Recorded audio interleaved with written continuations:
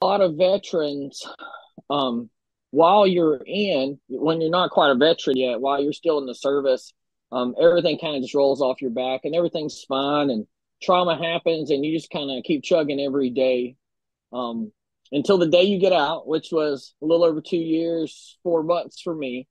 Um, and then stuff just kind of like compounds and like things you just kind of put aside or you just didn't think about for years and years and years, like slowly starts to seep to the the surface of it. You don't have that day to day military life of like just keep on charging forward and next mission and next mission and next location and and all that kind of stuff. So I think for me,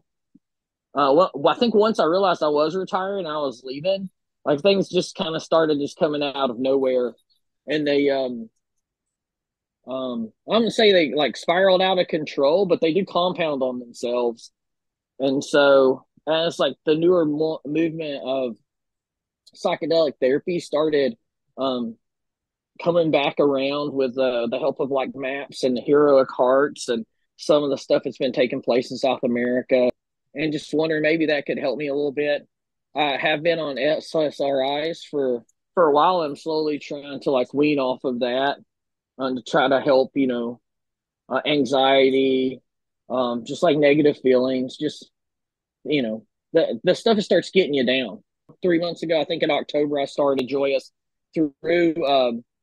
Hearts, and so I have noticed some like changes. There's still a lot of stuff there, but I've started to uh, slowly get incremental like changes in the way that I think about things. Um, all right, don't get me wrong, I still have anxiety. There's still like sadness and you know, like feelings of like, you know, things maybe I could have done better in the past, but I slowly start to see like a little bit of more light into the future.